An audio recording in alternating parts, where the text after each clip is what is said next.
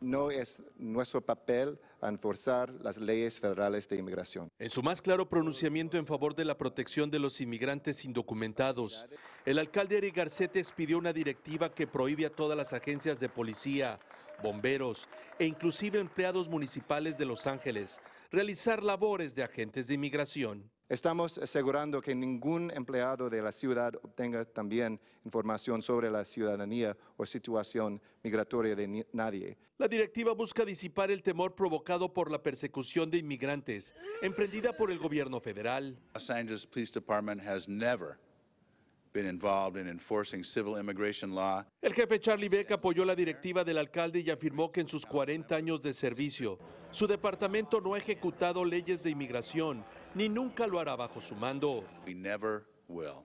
La acción del alcalde sitúa a Los Ángeles en trayectoria de choque con el gobierno del presidente Donald Trump, que amenaza con cortar fondos federales a ciudades que protegen indocumentados. Sus órdenes de la administración son anticonstitucional. Este es nuestro dinero, nuestros impuestos, no es el dinero de Washington. Junto con esta nueva directiva, tanto el alcalde de Los Ángeles como el jefe de la policía han enviado una carta a la oficina de inmigración en esta ciudad, pidiendo que los agentes de ICE dejen de utilizar chamarras en los que solamente se exhibe la palabra policía.